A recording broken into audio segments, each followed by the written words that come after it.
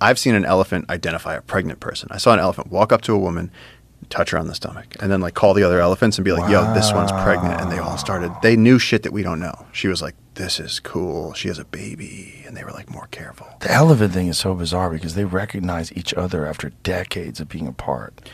They- They're so smart that I think when I look at an elephant, I see a non-human being. I don't look at it like there's ah. animals and there's cockroaches and there's dogs and there's rhinos and cows and all that shit. That's fine. When I look at an elephant, I look at it and I'm like, you, they treat you like an animal, but they shouldn't.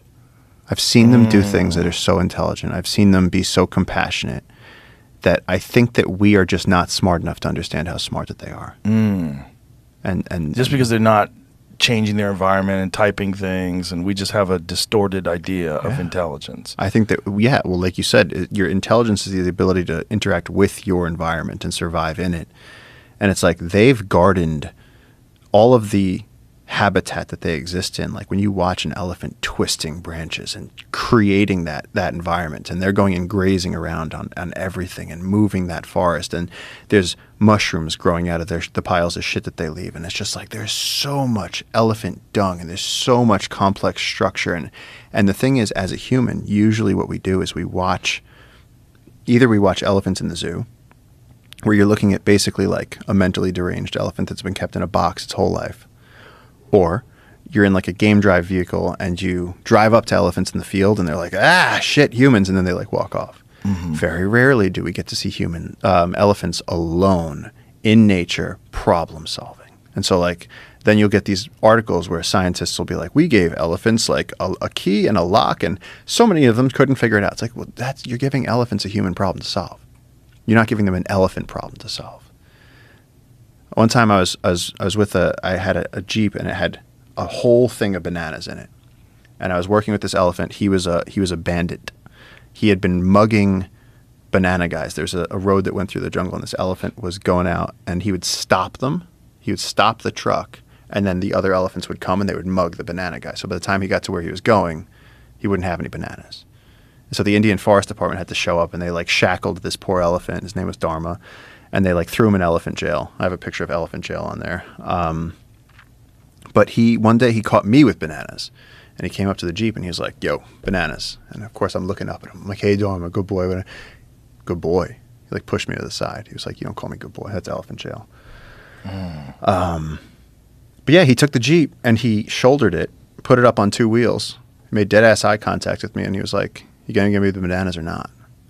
And I was like, "Just put the Jeep. Just put." You know, I was in this. uh, Suddenly, I was in an argument that I couldn't win with an elephant. I was like, "Please put the put the car down." He put the car down, and then I was like, "Come on, come over this way." Put it up. Eventually, I had to give him the bananas, or he was he and he was threatening me. He pushed it up just enough and stopped and looked at me. Wow. He was like, "You want me to do this?" Because it seems like you like it when it's this side up. I don't know though. And I was like, it was it was actually terrifying in that moment because I was like, I can't overpower you. I can't like threaten you with. wor- There's there's no way for me as a smart human to win this argument. And he just looked at me. And then he got his bananas. And then the next day when he did it, uh, my friend Niti had a hack for it. She was the one who was really in charge of this, but she would go and take a cup of water and th- throw it at his face. He would slap him in the, you know, he'd be like, I hate that. And then he'd like get upset and walk away. but, but they really, uh, it's surprising. Like Da- Jane Goodall changed humanity, being like, uh, you know, she discovered that, that animals use tools. And it's like, you watch elephants, they use tools all day long. You know, like I've seen an elephant like rip off a stick and like use that to scratch. And they're like, oh, Really? that's a good spot. Yeah. They're so they're just they're just brilliant. They're just brilliant. They Have know you where water seen is. those uh, videos of uh, elephants painting?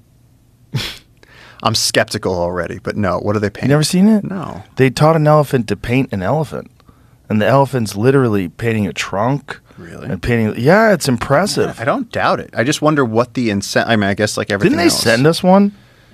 They sent us a painting that one of the elephants had made. a, a painting of an elephant by an elephant?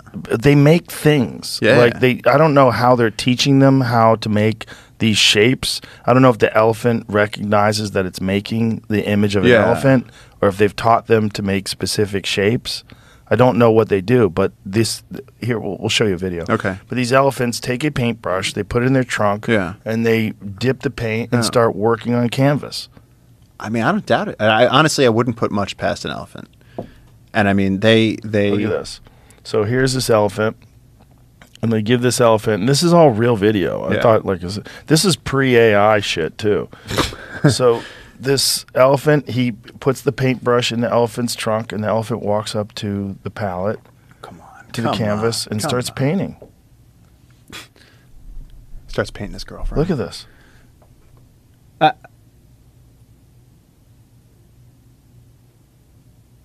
also, look look at how dexterous that trunk is. Yeah. Look at the control that he has. And see, it's looking like it's it's creating something that mimics what what it is. And so this guy has to dip the paint for it, it gives it I back to the why. elephant. I wonder why they. Wonder why he dips the paint for him. Wow, look at that! You can already see Well, it. it's going to be an elephant. So the paint, I don't think the elephant totally understands it needs I don't- more paint. You know, it knows when it gives it the brush, the paint's on it. So that's what makes me think. Look at this, man. Oh, look at that! He even has the the mouth. Yeah, look at this. That's a better elephant than most people could draw. yeah, better than like most kids for sure. Like, look at this. It's really incredible.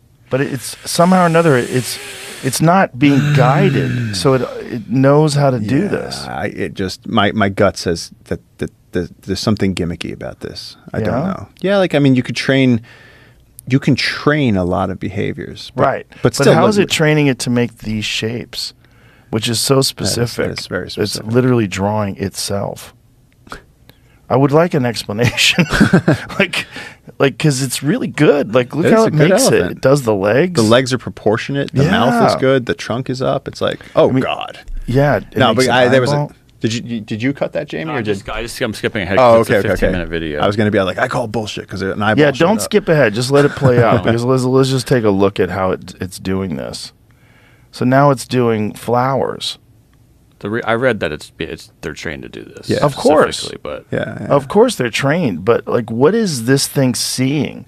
Does Wait. it know that? I mean, you have to train a child to paint too. Wait, but you know they they use medicine. Like they've they've documented elephants eating plants that induce labor that African tribes use, and then they they found the elephant doing it. There's published papers on this. What? Elephants use medicine. What? Yeah. What kind of plants that they find induce labor? I wish I remembered the name of it. I was just re- I was just looking this up because somebody told me and I didn't believe him.